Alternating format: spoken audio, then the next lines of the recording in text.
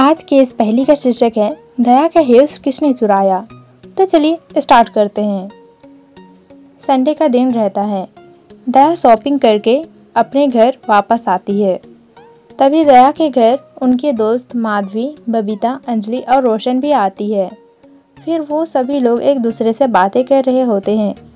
तभी दया अपनी सैंडल उन लोगों को दिखाती है। वो सैंडल सभी लोगों को काफ़ी पसंद आती है। फिर थोड़ी देर होने के बाद, माधवी, बबीता, अंजलि और रोशन अपने अपने घर चले जाते हैं।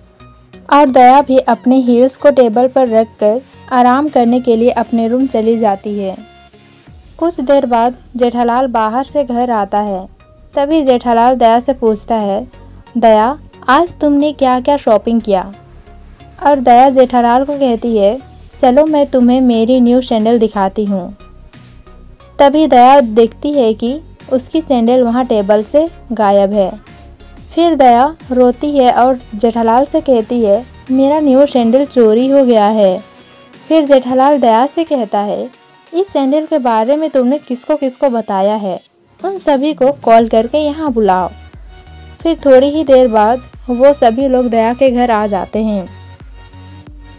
फिर जेठालाल सभी से पूछते हैं बताओ, तुम में से किसने दया का सैंडल चुराया है? तो सभी कहते हैं, नहीं, हमने नहीं लिया है। फिर जेठालाल और पूछता है, बताओ, तुम लोग यहाँ से जाने के बाद क्या कह रहे थे? अंजलि कहती है, यहाँ से जाने के बाद मैं तो टीवी पर सीरियल्स देख रही थी। बबीता कहती है, यहाँ से जाने के बाद अय्यर का फ़ोन आया था तो मैं उन्हीं से बातें कर रही थी। रोशन कहती है, यहाँ से जाने के बाद मैं गोगी को स्कूल लेने गई थी। और माधवी कहती है, मैं तो अचार पापड़ की पैकिंग कर रही थी। इन सभी की बातें सुनने के बाद चिठालाल को पता चल जाता है कि दया का हिल्स किसने चुराया है।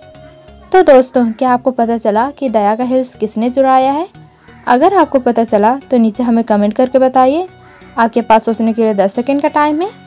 आपका समय शुरू होता है अब।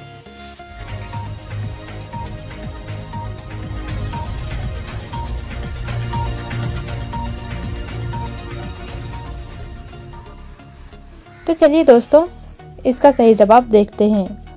दया का हिल्स रोशन ने लिया है, क्योंकि उसने कहा कि मैं गोगी को स्कूल लेने गई थी। और मैंने पहली की स्टार्टिंग में ही कहा था कि आज संडे है तो रोशन संडे के दिन में गोगी को स्कूल लेने कैसे जा सकती है?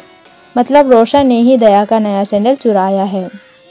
तो दोस्तों, अगर आपको मेरी वीडियो पसंद आए तो प्लीज़ लाइक करें, शेयर करें, कमेंट करें और सब्सक्राइब करना ना भूलें। थैंक